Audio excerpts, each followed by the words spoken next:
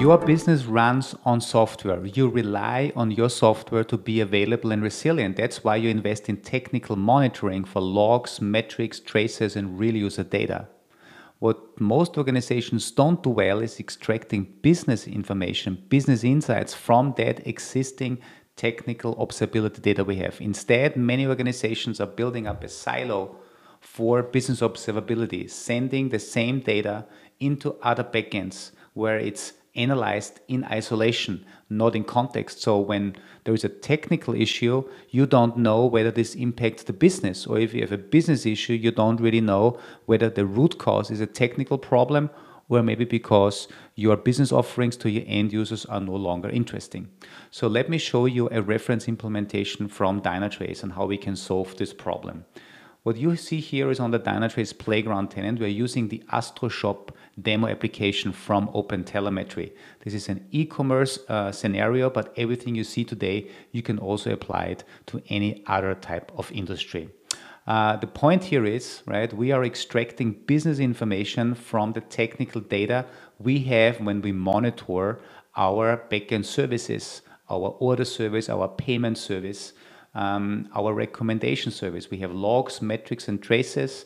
We can extract business data. And that's what we do here. So you can see here a dashboard that shows me as a business owner, how are we doing in terms of order volume?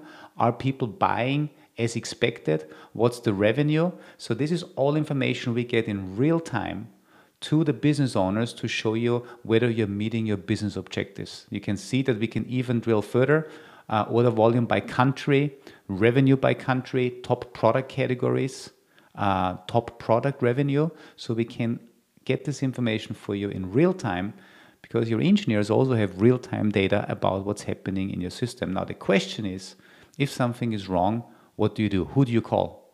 In our case, if I scroll down to um, the section on the bottom, we automatically highlight any technical issues that Dynatrace detected that is impacting your business, and we also give you technical root cause drill down. And obviously, we always give you order loss information as well, so you can better judge on how critical this problem is.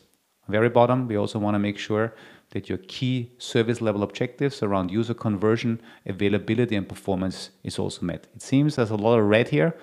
Dynatrace detected the problem, so now I want to show you how, as a business owner, you would go about this. So the first thing I want to highlight is I want to open up a technical problem. So as you are handing things over, Dynatrace gives you the ability and um, gives you a problem ticket that contains the impact information. So on the top, you see how many services are impacted. For a business owner, very important is probably the number of affected users. So how many users are currently impacted by the problem. This allows you to understand how risky this is and what the priority should be.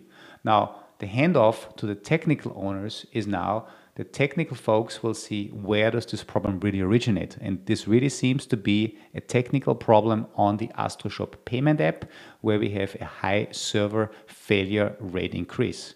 And with a single button, analyze failures, the engineers can then look into the actual problems. They get to see which endpoint has the issue. It's the charge endpoint of the AstroShop payment. They automatically get the logs. But the nice thing is with a single click here, you can see it here, they can even drill to the distributed traces. Now, this might be too technical for you if you're a business owner, but believe me, your technical folks, they will love to see this information. They need this information to fix the problem because it points them to the line of code uh, where their issue is that is impacting your business. And not only the line of code, logs are very important, so we also always have all of the logs available. Now, let me go back uh, to this particular dashboard. If I'm back on the dashboard, um, we have your business information on the top. We have the connection to the technical problems. And uh, for um, folks that want to do a little shortcut, we also highlighted here a direct link to the technical root cause. So if the technical root cause can be seen on a trace, like I had before, right? Here we go. We directly get again to a problem that uh, happens in the checkout process where this particular uh, checkout failed with an HTTP 500, meaning throwing an error back to your user. We have all of the information here, again, ready for your developers. All right. Uh, last but not least, uh, let me go back to this problem again.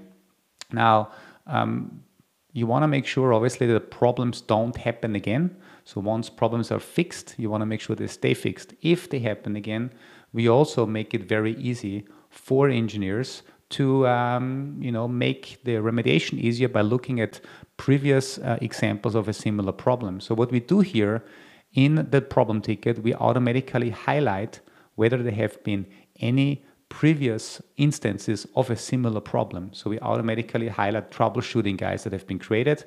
I can click on View Notebook, and then the notebook opens up for me. And it seems when this problem happened the first time, uh, it was back in June, um, somebody that was actually triaging the problem already identified there was a failure rate increase.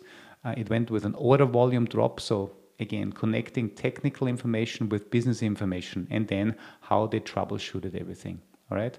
So we are, from a Dynatrace perspective, we really believe that we don't lack on the uh, amount of data we have. We have a lot of logs, metrics, and traces.